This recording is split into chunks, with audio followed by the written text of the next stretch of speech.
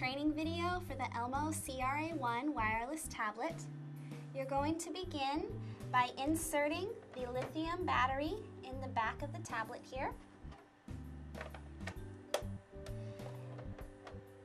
Put the AAA battery in the pen.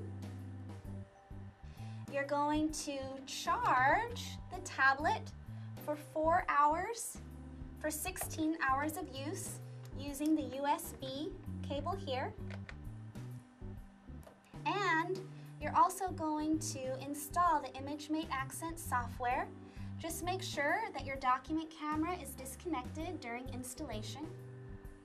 When you're done charging, you can disconnect the tablet. You can take the wireless adapter and slide it into your computer. You'll power on the tablet.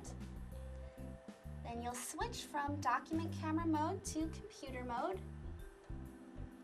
You'll then be able to see your desktop